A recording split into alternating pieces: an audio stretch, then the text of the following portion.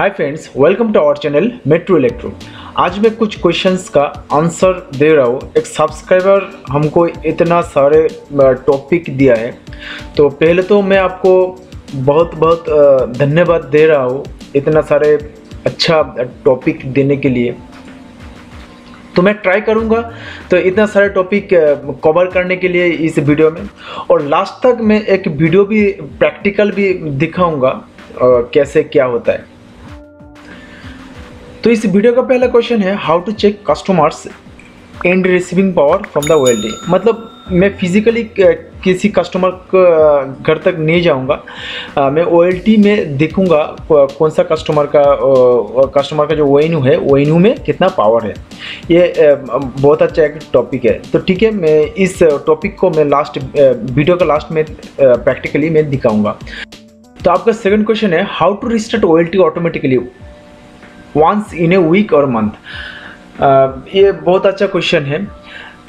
Actually हम लोग जो ईपोन और जीपोन यूज़ करते हैं ना, इस ईपोन में अभी तक तो वो जो फ़ंक्शन नहीं है अवेलेबल नहीं है.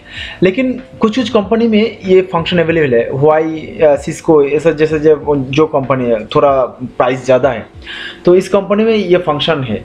लेकिन हम लोग जो यूज़ करते हैं, सस्ता वाला है सस्ता वाला जो ईपोन जीपोन है, ये ईपोन जीपोन में ये फ़ंक्शन नहीं है। लेकिन मेरे पास और एक तरीका है। ये है मेरा तरीका। एक्चुअली इस डिवाइस 700 का आसपास मिलता है मार्केट में अमेजन पे फ्लिपकार्ट पे मिलता है। इस डिवाइस के माध्यम से आप आपका ओ को रिपीटेडली मंथली वीकली आप रिस्टार्ट कर सकते हैं ऑटोमेटिकली ठीक है? अब आते हैं थर्ड नंबर क्वेश्चन पर। How to auto switch to the backup line through OLT ये सच में ये बहुत डिफ़िकल्ट प्रॉब्लम है। एक्चुअली मैक्सिमम इंटरनेट का जो कंपनी है, वो कंपनी बैकअप लाइन और मेन लाइन दोनों एक साथ ही प्रोवाइड करते हैं। ये क्या होता है? मेन लाइन का फाइबर कटिंग होने के बाद और मेन लाइन का कुछ भी प्रॉब्लम होने के बाद आना पड़ता है कंट्रोल रूम पे। उसके बाद मेन लाइन ओपन करके बैकअप लाइन कनेक्ट करना पड़ता है। लेकिन ओएलटी में ये वाला फ़ंक्शन है, दोनों इनपुट आप मेन लाइन और बैकअप लाइन आप इनपुट करेंगे, जो लाइन काट जाएगा फाइबर काट जाएगा, वो ऑटोमेटिकली डिजेबल हो जाएगा। और जो लाइन रहेगा बैकअप लाइन वो ऑटोमेटिकली आप हो जाएगा। ठीक है? तो उसके ऊपर वीडियो में नेक्स्ट वीडियो पे डालूँगा। और fourth number question how to maintain the temperature of the O L T O L T का टेम्परेचर इंक्रीज होने के बाद प्रॉब्लम बहुत सारे प्रॉब्लम आता है ओ एल टी में। पहले तो प्रॉब्लम होता है ओ एल टी रिस्टार्ट हो जाता है। ठीक है? हैंग हो जाता है।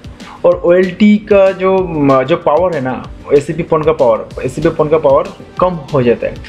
स्क्रीन पर देखिए टेम्परेचर क्या है? 45, 39, 44 वो फ़ोन का है ठीक है? तो आप ध्यान पे रखिए फ़ोन का जो टेम्परेचर है ना 55 और 60 उससे ज़्यादा नहीं होना चाहिए ठीक है? उससे ज़्यादा हो जाएगा होगा ना जो पावर है ना पावर घट जाएगा ठीक है? तो आप ये ध्यान रखिए जो आपका फ़ोन का जो पावर है ना वो फ़ोन का पावर ज़्यादा नहीं होना चाहिए। अब क्वेश्चन है वो इस टेम्परेचर को मेंटेन कैसे करेंगे? ओ के अंदर ऐसा कुछ फीचर्स नहीं है जो आप टेम्परेचर को मेंटेन कर सकेंगे। जो करना है आपको बाहर से ही करना है, ठीक है? एक ऑपरेटर देखिए कैसे किया। आपका कंट्रोल रूम का जो टेम्परेचर है, वो 40 डिग्री नीचे होना चाहिए, ठीक है? एसी नहीं हो तो आपका एक, जो पंखा है, वो 24 आवर्स चला के रखना है। फाइव नंबर क्वेश्चन है how to troubleshoot if there is a break down in output from O L T O L T से जो आउटपुट निकलता है A C P PON A C P PON से कुछ ब्रेक डाउन हो जाए तो उसको ट्रैवल शूट कैसे करेंगे? एक्चुअली वो travel shoot O L T से आप कर नहीं पाएँगे, ठीक है? ट्रैवल शूट आपको बाहर से ही करना पड़ेगा। छः number topic how to change IP password and other network setting through OLD सच में ये टॉपिक बहुत ही अच्छा है क्योंकि आप कंट्रोल रूम में बैठे बैठे आपका कस्टमर का जो ओ राउटर का जो पासवर्ड है, आप चेंज कर सकते हैं आईपी चेंज कर सकते हैं पासवर्ड चेंज कर सकते हैं। आपका फिजिकली कस्टमर का तक जाने का ज़रूरत नहीं है। तो ये बहुत ही इम्पोर्टेंट एक टॉपिक है। एक्चुअली क्या होता है ना मैं एक कंपनी में काम करता हूँ तो इसीलिए होता क्या है कोई ऑपरेटर के पास जब मैं ओएलटी को कॉन्फ़िगर करने जाता हूँ ना तो ऑलरेडी उनका ओएलटी चलता है, ठीक है? तो इसीलिए आर करने का मौका नहीं मिलता है, ठीक है? तो मैं आर करने का जब मौका मिलेगा ना, मैं ये वीडियो में ज़रूर करूँगा हंड्रेड परसेंट ये वीडियो में करूँगा, ठीक है?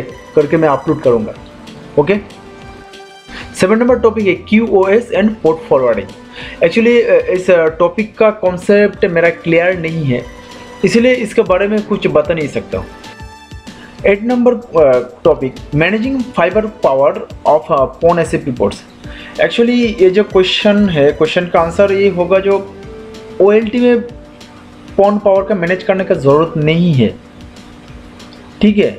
एक्चुअली पावर का मैनेज करने का ज़रूरत है पॉन एटफा में। पॉन एटफा में आप मैनुअली आप कर सकते। हैं 19 D B thirty two D two D B thirty D B ऐसा कुछ जो पावर निकलता है एटफा में। तो एटफा का जो इंटरफेस है इंटरफेस में आप लॉगिन करके ये वाला आप मैनुअली कर सकते हैं। लेकिन मेरे हिसाब से एस पॉन में आपका ये मैनेज करने का ज़रूरत नहीं, है। Nine number question multiple input links to one output through O मतलब सेम ओ में आप दो तीन इंटरनेट का कंपनी आप इनपुट करके कैसे मिक्सिंग करके चलाएँगे। इस टॉपिक का ऊपर मैं तीन वीडियो ऑलरेडी अपलोड कर चुका हूँ। तो प्लीज़ एक बार देख लीजिए मेरा इस वीडियो बहुत ही डिटेल से मैं किया है, ठीक है? दो दो एल एक साथ मिक्स करके कैसे चलाएँगे? दो तीन इंटरनेट सिंगल ओ में मिक्स करके कैसे चलाएँगे? दो तीन इंटरनेट का कंपनी दो ओ में मिक्स करके कैसे चलाएँगे? इतना सारे वीडियो में डाला है ऑलरेडी मिक्सिंग का वीडियो ठीक है? तो प्लीज़ एक बार देख लीजिए।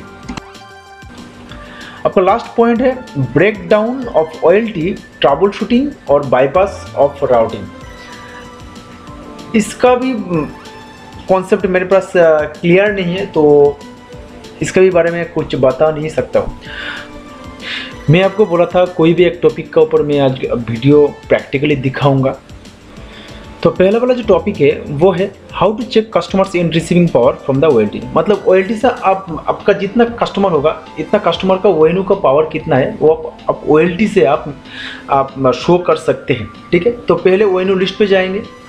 ओ लिस्ट पे जाके आप कॉन्फ़िगर पे क्लिक करेंगे। ठीक है? पर्टिकुलर जिस कस्टमर को आप देखना चाहते हैं ठीक है? ये देखिए अब रिसीविंग पावर कितना है? यहाँ पे दिख रहा है माइनस नाइनटीन ओके तो एक एक कस्टमर देखने के बाद आपको टाइम ज़्यादा मिल जाए ज़्यादा टाइम लगे, लगेगा। तो इसीलिए आप आपका जितना कस्टमर है पूरा कस्टमर देखने के लिए आपका C P O P I M sorry O P I M direct पे क्लिक कीजिए। तो देखिए फ़ोन वन पे मेरा इतना कस्टमर है।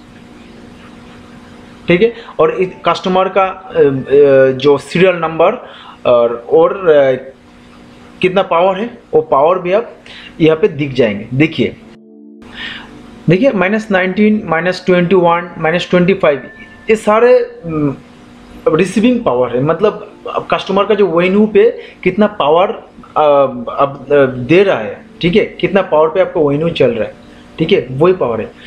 तो ये पॉन वन का है। मैं आपका जितना सारे कस्टमर है, वो सारे कस्टमर का एक साथ देखना चाहते हैं। तो ऑल क्लिक करने के बाद आपका जितना कस्टमर आप इंटर आपका नेटवर्क में चल रहा है, इतने सारे के सारे कस्टमर का आप यहाँ पे डेटा मिल जाएगा।